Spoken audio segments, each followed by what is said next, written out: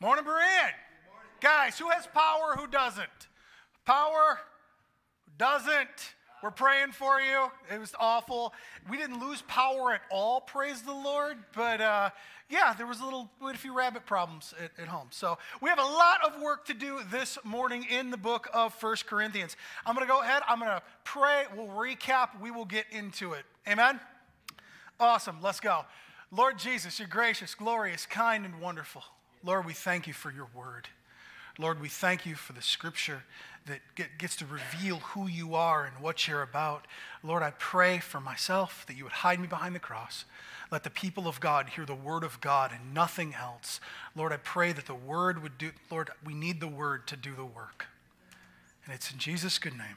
Amen. So, if you're new, if you're just watching online, if you're not familiar, you're just catching up, this is the on ramp into the book of First Corinthians for you. I'll recap where we've been.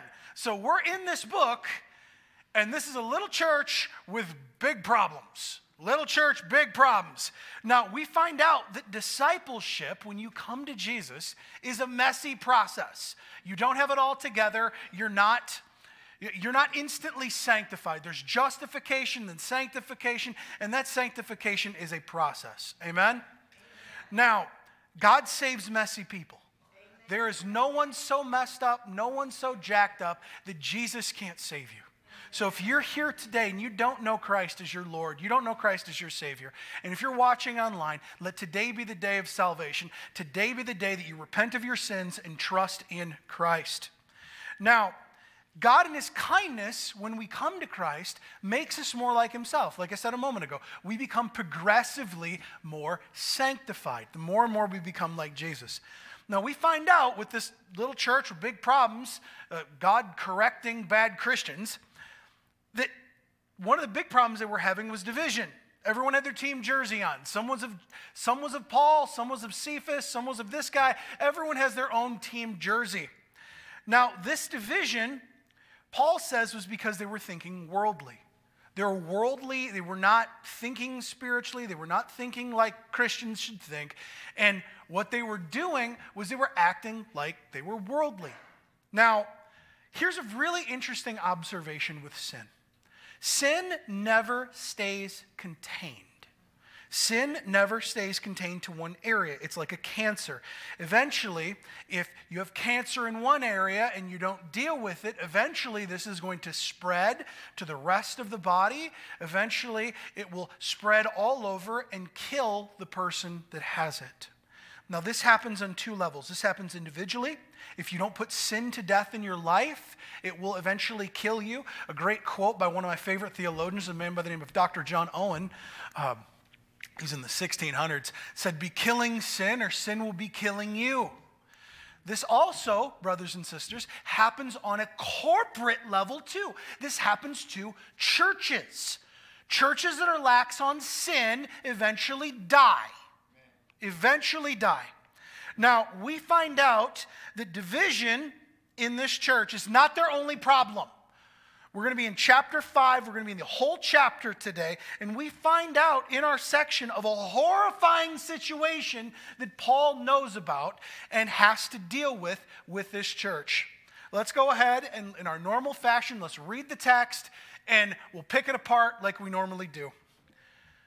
It is actually reported that there is sexual immorality among you, and of a kind that is not tolerated even among pagans, for a man has his father's wife and you are arrogant. Ought you not rather to mourn?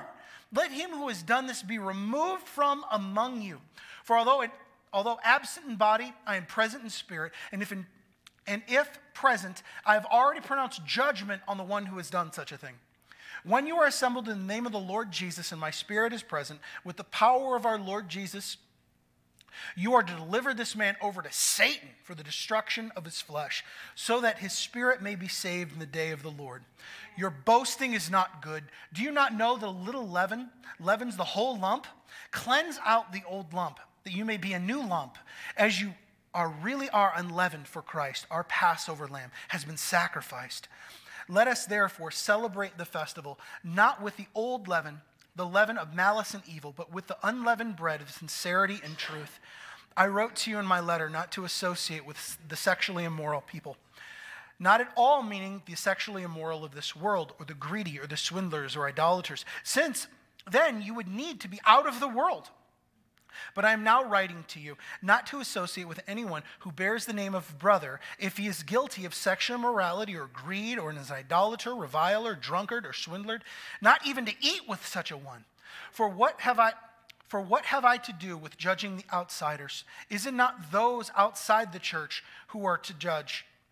God judges those outside. Purge the evil person from among you. The word of the Lord, brothers and sisters. Now, we find out, let's look at the first five verses here. So, what's going on in this text? Well, there's a situation going on in this church, and there's two parties described there's the man and there's the church. Now, the man situation, uh, there's a situation going on over here, and there's a situation with the church.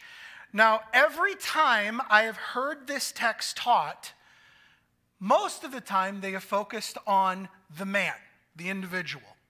I would make the argument that the, that the thrust of Paul's argument is not the man who is, who is having a problem right here. I'm being very delicate with the. I have prayed about this text, guys. Okay, for months I've talked to my guys on Tuesday, like, guys, I'm nervous about this text. I'm nervous of where this is going to go, and I'm praying. So work with me here. So the two parties involved. Let's deal with the man first. What is he doing?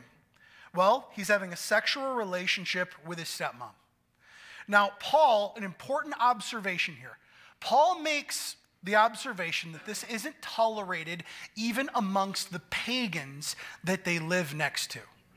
When the pagans have a better morality than you, something is really, really wrong. Something is really bad. Now, if this is bad for their culture, imagine how bad it would be for their church. But they're so, it's so far rotten, so far problematic that, that it's just it's bad. It's bad. The church should, Paul says here, you should rather mourn. This should cause the heart of the people of God to mourn. Now, there is an application here, and I need to be pastoral and I need to be firm. Normally, when we think theologically, we think, I, Sometimes, when we think theologically, we think abstractly, and we don't think that this is applicable to our situation and applicable to our culture. Now, I want to be pastoral and I want to be firm. This situation currently is going on, not in our church, but in the world around us. This disgusting situation that we're seeing here goes on in the world around us. Now, and this is to our shame, our American culture is so rotten to the core that this type of situation is in the fantasies and minds of the pagans around us. Business Insider publishes keyword searches of illicit websites. And I've, I've been a subscriber to Business Insider since I was in college. But they publish keyword searches, and this is one of them. Our culture is rotten to the core, brothers and sisters. Our culture needs the gospel, and our culture needs to repent. Now, let's look at the church's response. The church's response is honestly way worse than this man's individual sin because it implicates the entire church that they tolerate this nonsense. Now, several commentators I read this week had reasons why they were tolerating this. First one was because they were too busy fighting in their own factions. They didn't care about holiness. This problem, brothers and sisters, when theology, I love theology. I have a theological library in my house. It's full of books. I get book deliveries quite regularly, and my wife looks over and she laughs sometimes. Like, another one, another one, another book. And she's, she's smiling. She's like, yeah, that's true. That's now Here's the thing if theology is nothing more than a mental assent for you, take your books and throw them in the garbage. If it's just a mental exercise and it doesn't go from head to heart to hands, throw it away. It's not helping you. Theology, our theology, what we believe about God, should impact our hearts so much that we feel the depths of our depravity. And then we have great joy in Jesus so that we would put sin to death and love our brothers and sisters in Christ. Your theology should not give you any chutzpah to where you're like, I'm awesome. That's ridiculous. We should be putting, this should cause us to be holy and this should cause us to be honestly this should cause us to mourn. Now, the second reason why they, the commentators I was reading said that they were tolerant of this man's sin is because they were overusing the grace of God as a cover for sin. Romans 6 talks about this. It's not in my notes, but Romans 6 says to, to use the grace of God as a cover for sin, God forbid. Now, this happens, why this happens, is when we misunderstand what the grace of God is, and if we use it for a license to sin, what that says is we don't understand the grace of God. Now, Paul says here that they're arrogant. Might I suggest to you that the tolerance that, that's happened in I would say evangelicalism. Praise God, it doesn't happen in our church. But evangelicalism as a whole, where they're like, we're tolerant, we don't care, we're whatever grace, God gives grace to everyone, and it's just, it's good. And you can live however you want to, is a false gospel. We see this, I seen this on my way in this morning right? I passed a church on our street. I won't point them out, but you can see it because they have a rainbow flag in front of their church, you know, hint, hint, down the street.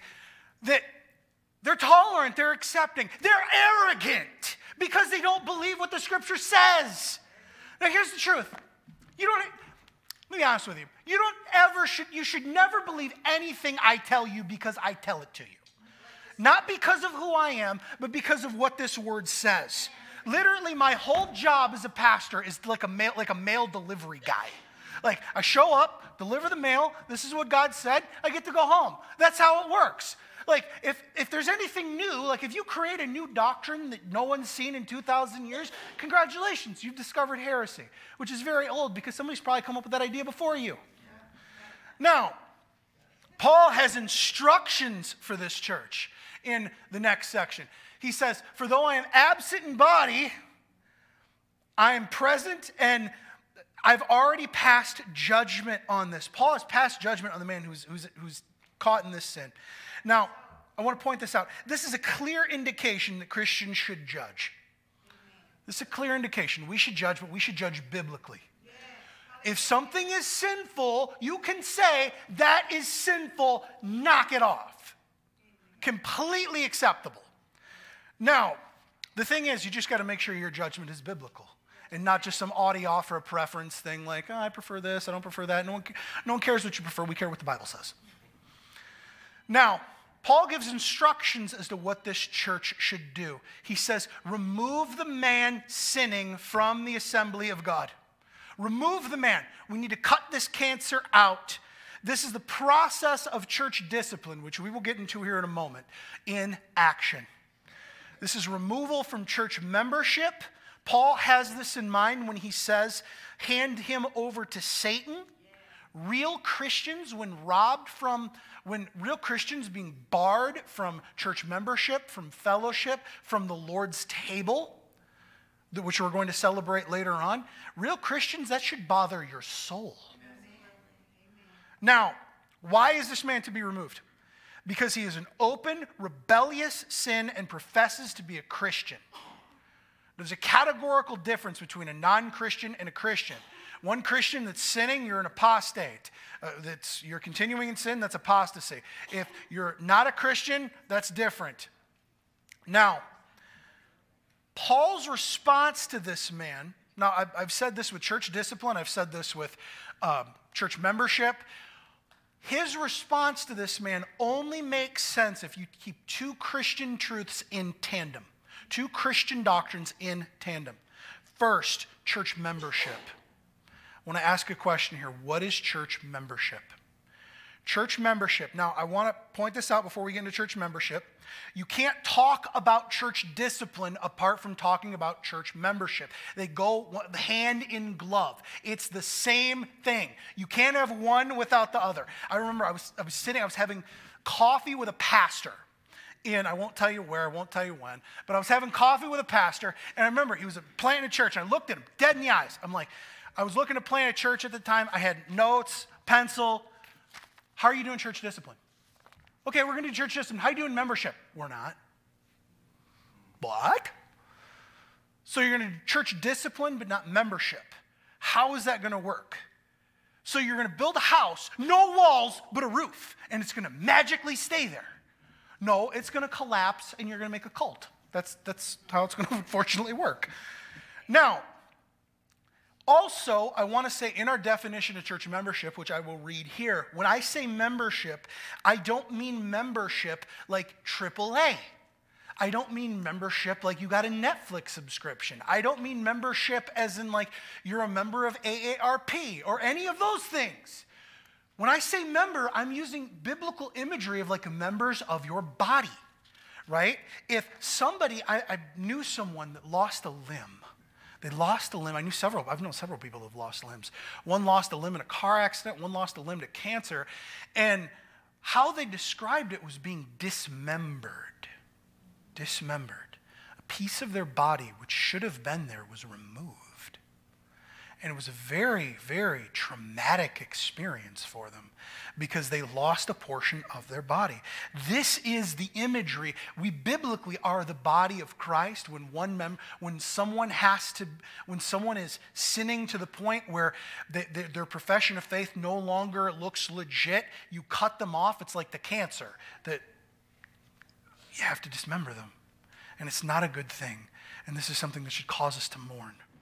Now, Definition of church membership Church membership is the formal relationship between a local church and a Christian, characterized by the church's affirmation and oversight of the Christian's discipleship and the Christian's submission to living out his or her discipleship in the care of the church. Let me read that again, a little bit slower this time. Church membership is a formal relationship between a local church and a Christian, characterized by the church's affirmation and oversight of a Christian's discipleship and a Christian's submission to living out his or her discipleship in the care of the church. Notice there's some several elements that are present in this. The church bodily formal the church body formally affirms the individual's profession of faith and baptism is credible it promises, the church promises to give oversight to the individual's discipleship. The individual formally submits his or her discipleship to the service and authority of this body and its leaders. I borrowed this just in case you're Googling this definition. I borrowed this from Nine Marks, uh, from the Nine Marks website. I think this is great. This, I think this is a great definition. I just want to give credit where credit is due. Now, this is very important. Membership discipline only works with membership. Now, I want to give you guys a little bit of biblical support for church membership. Mind you, this is all over the New Testament. The New Testament assumes church membership. It assumes it. It assumes healthy Christians are going to be plugged into churches that you are covenanting together to be a formal member of that you're not going to church hop. I mean, church hopping in the New Testament would have been extraordinarily difficult. Let's just church is 500 miles here, 500 miles there. You're not probably going to do that in a week, in a Sunday. You're not going to be like, hey, I'm in Galatia this week, or hey, over here. It, it wouldn't work in the New Testament. Now, first text, Acts 2:41. For those who received his words were baptized, and there were added that day about 3,000 souls. Very interesting and very curious here. When, when Luke tells us that 3,000 people were added, you know what that assumes? They knew who was in and who was out.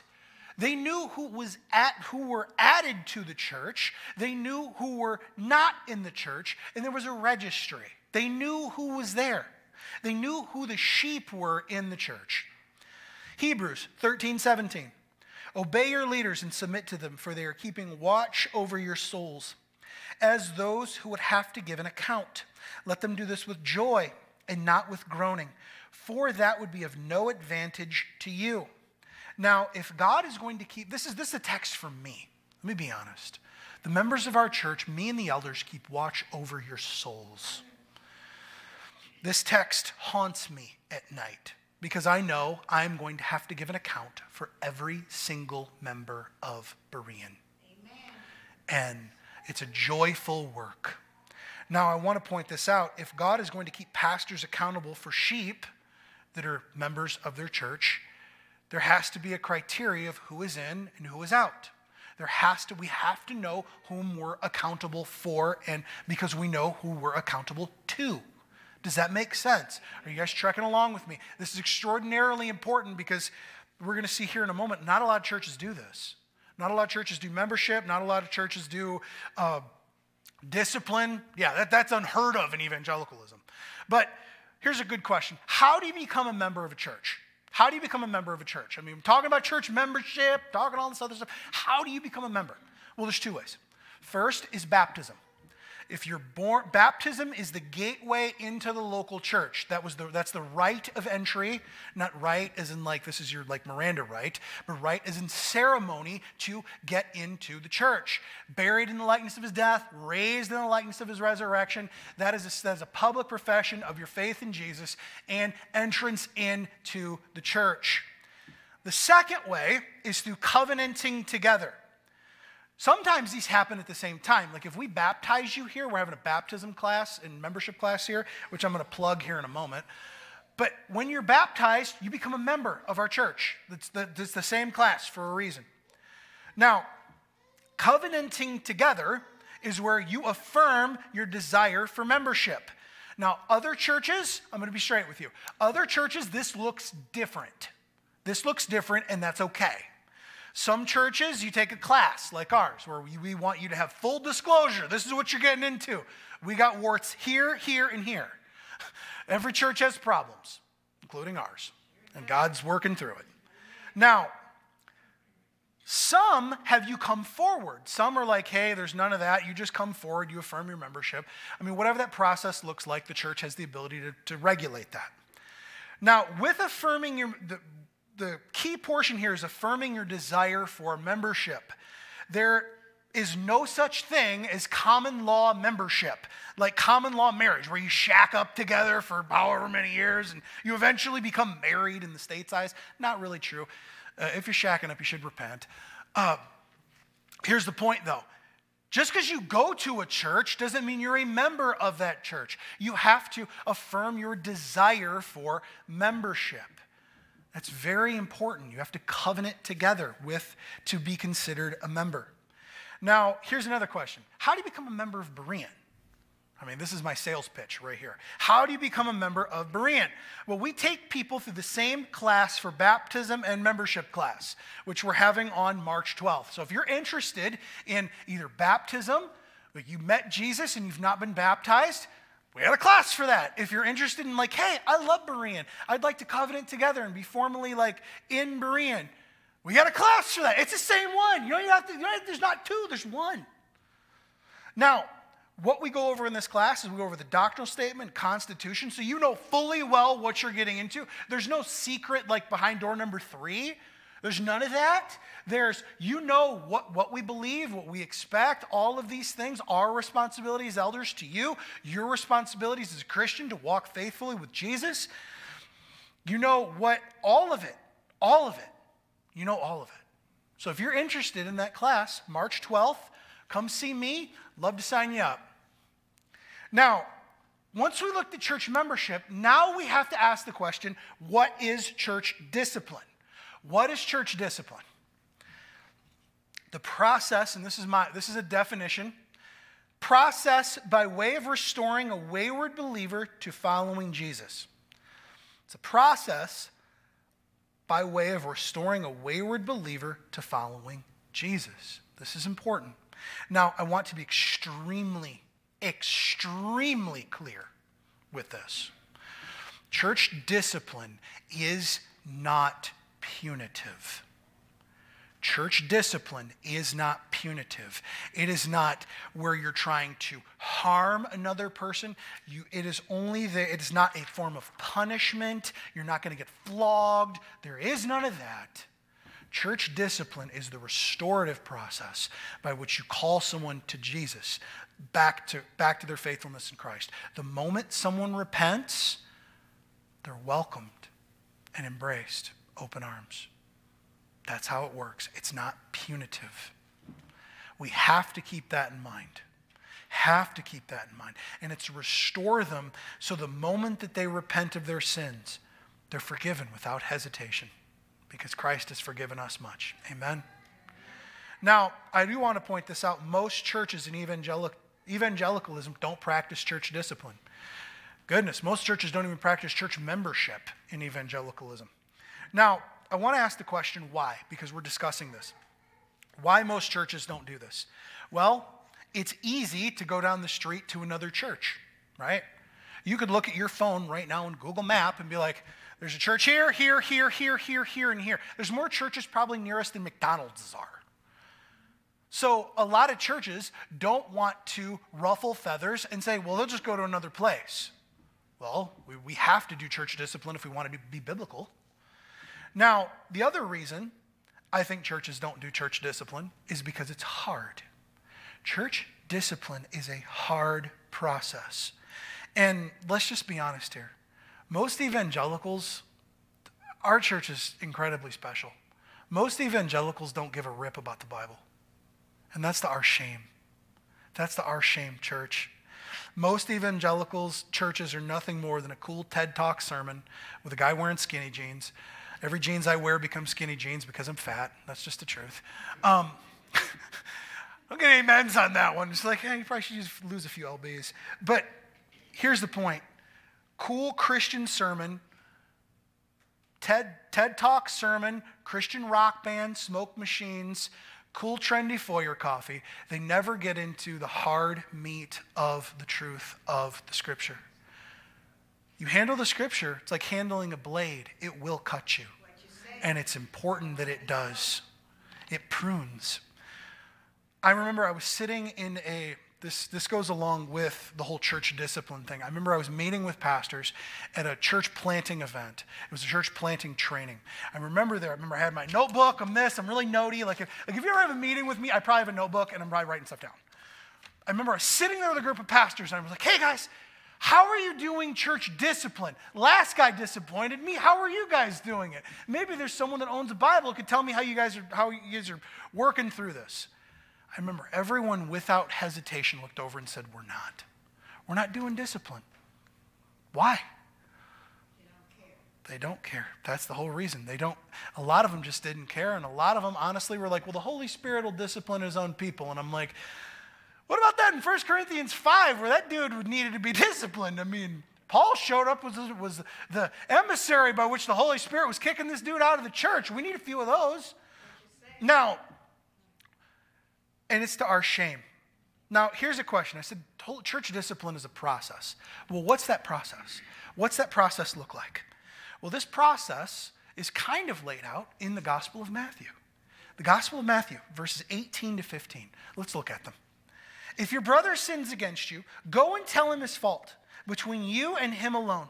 If he listens to you, you have gained your brother. But if he does not listen, take one or two others along with you, that every charge may be established by the evidence of two or three witnesses.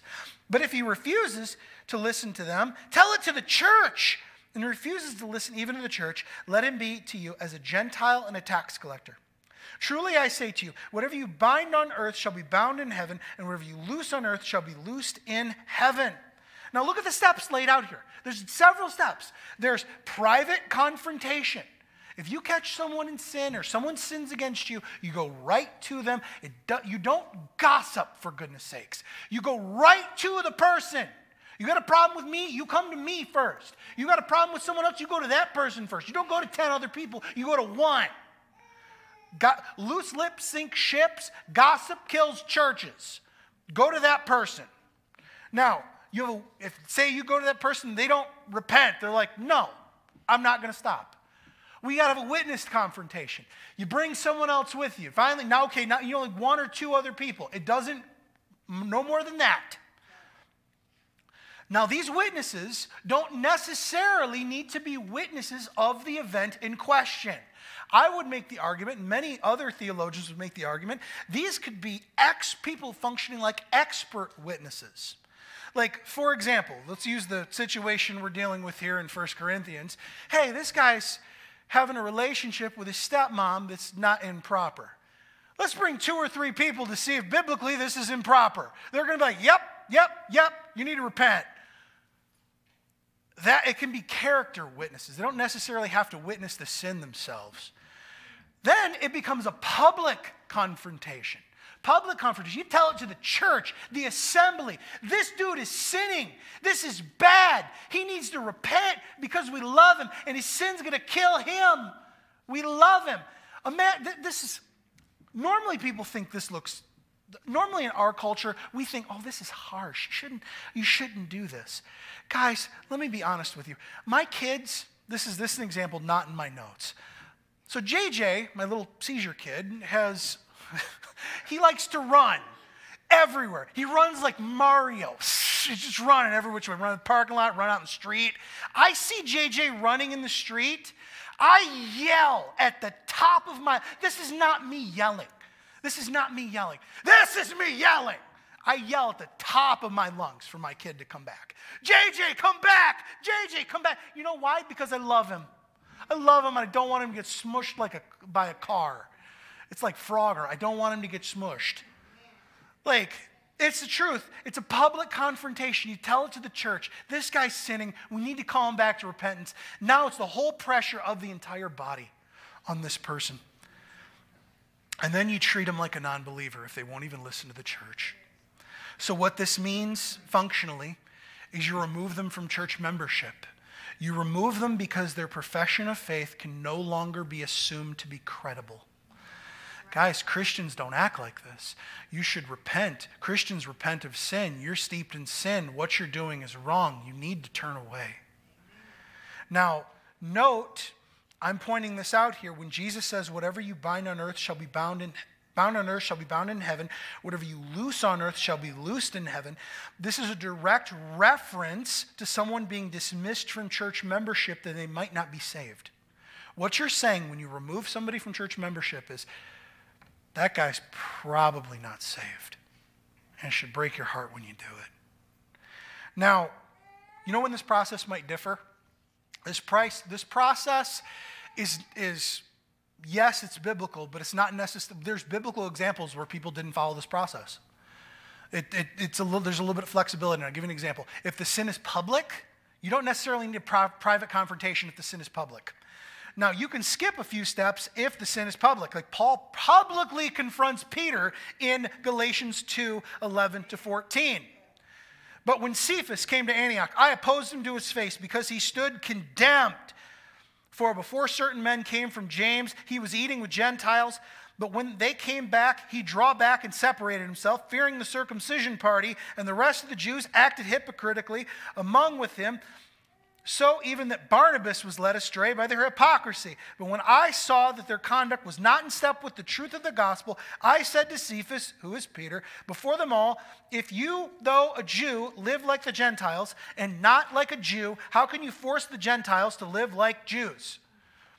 Paul completely broke through the first few steps. It was, it was a public sin, public confrontation. Meet it with you meet force in kind with force. Like, if it's a public sin, public rebuke.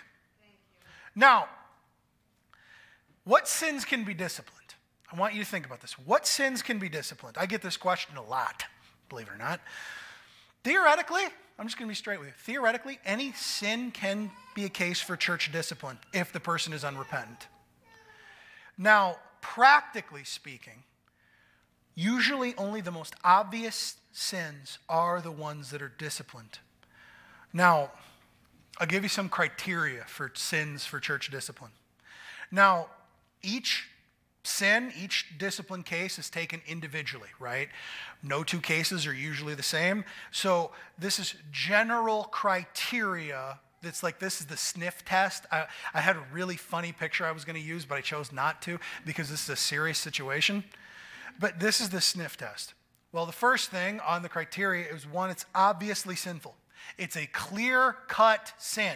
It's not a question of, eh, like, like the dude in our situation, or uh, the guy in our situation here in 1 Corinthians 5. He's, he's having a relationship with a stepmom. That's clear. That's a problem. Like, it's no, there's no question here. There's no, like, eh, maybe, kind of. No, it's, it's obvious. The next thing is it's provable. It's provable that it's sinful. Now, this kind of goes off to the whole obvious question, but it's not potential sin, but actual sin. People do unwise and stupid things all the time, right? It's not a sin to eat a lawnmower, but like it's not overtly like, hey, you shouldn't eat your John Deere tractor. But it's just stupid. Like it's gonna, it's, it's not gonna be great going in. It's definitely not gonna be great going out. Like it's just not a smart, wise decision. Now, there's many situations where people that are unwise, like people do unwise things. That's not a case for church discipline unless it gets really bad. Like, for example, um, the guy that likes to play video games, there's nothing wrong with playing video games in general speaking. I mean, you could be specific. But the guy's paying his bills, he comes home, he plays video games, eh, whatever. I'm not, I'm not, gonna, I'm not gonna throw a fit. So, obviously sinful, provable, it's provable sin, and then unrepentant. When confronted, they say, Nope, I'm not repentant. I'm, this is righteous. This is what I'm doing. Well, that's a case for church discipline. I'll give you some examples that meet my criteria, meet the criteria here. One, teaching false doctrine. You come up, you start teaching like, like modalism or Trinitarian heresies, it's going to be a church discipline case. Like, you start teaching false doctrine, that's pretty, that's pretty clear. Next one, like sexual sin, idolatry, stepmom relationships. That's clear too. That, that's going to be a clear cut case of church discipline. And I'll give you another one, which normally doesn't get as much attention as it should causing division in the body of Christ. That's clear cut too. If you're whispering and murmuring and gossiping, that should be nipped in the bud soon. Now, what should the church uh, when why should the church ultimately excommunicate those that are unrepentant? Let's look back at our text. Let's look back at our text at 1 corinthians. It keeps the church pure. It keeps the church pure. Now paul says in verse 6 your boasting is not good. Do you not know that a little leaven leavens the whole lump? Cleanse out the old leaven that you may be a new lump as you are really are unleavened. For Christ, our Passover lamb, has been sacrificed. Let us therefore celebrate the festival, not with the old leaven, the leaven of malice and evil, but with the unleavened bread of sincerity and truth. Paul is using an illustration here from the Jewish Passover, where they will remove all the leaven, all the yeast out of their house. Now, I want to point this out. Church, this purity of the church is a gift that God gives the church of the corporately and individually. Guys, if you have someone in your life that is willing to confront you with, if you're in sin, amen. Bless them. I have good friends in my life that have open access to everything I view on the computer, everything I view on the phone, everything there. At a moment's notice, I could get a phone call to be like, hey, everything, my open door, open door policy. You should have people in your life like that. And you should have, you should be praising the Lord that you have a church that actually practices church discipline that won't let you go wayward and won't let you pursue your own sin to your own destruction. Now, this illustration Paul is using here of leavening and yeast, yes, it's an illustration. Yes, it's a callback to the Passover for purity. But I want to point this out here. I want to press into this illustration. Do you guys know how much leaven, how much yeast it takes to rise a whole loaf of bread? Very little. Very little. So, one of the things people don't know about me, I mean, given how much stuff I post on Facebook, you probably should know this about me. I love to cook. I love to cook. I love fried chicken, pizza. That's why I'm fat. Like, this is the whole reason why I love, I love to cook. One of my first things I first made was pizza. There's a really great recipe from Alton Brown. You're the good eats dude. That, that guy. Well, the pizza recipe, you take a little bit of yeast, like a teaspoon of yeast for like four, like several cups of flour, and you let it slow rise overnight in the refrigerator. Covered, yeah, covered in the refrigerator, and it slow rises overnight. You know, the only thing you need with just a little bit of yeast is time. With enough time, you could take a whole 20 some cups of flour, put just a little bit of yeast in there, and give it enough time, it'll raise the whole thing. It'll raise the whole, whole, whole batch of dough. So, how is sin like yeast? Well, it only takes a little bit, and the whole it'll continue to go through, and it only takes time, it'll go through the entire church if left unchecked. If sin is left unchecked in the lives of individuals and the life of a church, it will proceed to go through. Like I use the example of cancer. If there's a little bit of cancer, eventually it's going to go through your whole body and it's going to kill you. Now, I want to point this out too. Paul says that this judgment for church discipline is very specific in its in where it's aimed. It's aimed at the church. The discipline is aimed at the church. Look with me verse 9 to 13. 9 to 13. I wrote to you in my letter not to associate with the sexually immoral people. And Paul clarifies this. Clarifies this is crystal clear. Not meaning at all the sexually immoral of this world, or the greedy, or the swindlers, or idolaters, since you would need to go out of the world. But now I am writing to you not to associate with anyone who bears the name of brother if he is guilty of sexual morality or greed or is an idolater, reviler, drunkard, or swindler, not even to eat with such of one. Don't have table fellowship with them. And this is point I want to clarify too. When you're removed from under church discipline, you know what we bar you from? This. We bar you from the Lord's table. Not because we don't love you, but because we do, because we'll see in a moment when we do the communion service, when we do get into communion, if you do it un, in an unworthy manner, you put yourself in grave danger. Amen. Now, here, this judgment and this discipline is for Christians. Paul says that they should not associate with sinful believers. Now, there's an application for, here for us. There's an application. Those who confess Christ but live in a sinful way you should not associate with. You should put some distance there. And I'm going to be honest here, I'm going to be pastoral. This can be hard. This can be hard, especially if this is a family member that is walked, walking into sin. And you, you can go with tears in your eyes, brother, sister, son, daughter. I really care about you. What you're doing is sinful. What you're doing breaks the heart of God. What you're doing is going to lead to your own destruction. Don't you see? Don't do this wicked thing before the Lord. What, what you're doing, purge the sin out. Repent, turn away. You go with tears in your eyes because you love this person, not because you're an arrogant jerk, but because you love them because you care. And if they pursue it, I'm sorry. I can't go with you any farther. I'm sorry. What you're doing is wicked. What you're doing is destroying yourself. I can't go with you. And this is really hard, especially if it's a family member, especially if it's a son or a daughter. This works itself out. I know there's going to be a lot of questions, which we can discuss in small group. So, who this judgment, so this judgment is for the church. Who's this judgment not for? The world around us. Paul is more concerned with the church than he is the world. God is going to judge the world. God is going to judge the world. I don't need to be the nitpicker of, of sin with the, the what's going on out in the world. I'm going to call the world to repentance, yes, but I don't have to sit here and like, I don't have, my, I don't need to raise my blood pressure over that. Why?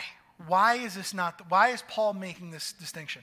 Well, we can't get out of the world. We're, the world is filled with sin and sinners, and no one gets raptured instantaneously when you come to Jesus. So, to, to Paul says here, if, if you're gonna, if, if you're not going to associate with anyone that's sinful, you would need to get out of the world, and there's no way to do that. So, there's no way to get out from the. This is the part of the being in the world, but not of the world brothers and sisters. We need to be in the world and not of the world. We need to be salt and light. Which goes to the other reason of evangelism. You should have non Christian friends. You shouldn't be participating in their sin with them, but you should have non Christian friends. You can have non Christians over to your house.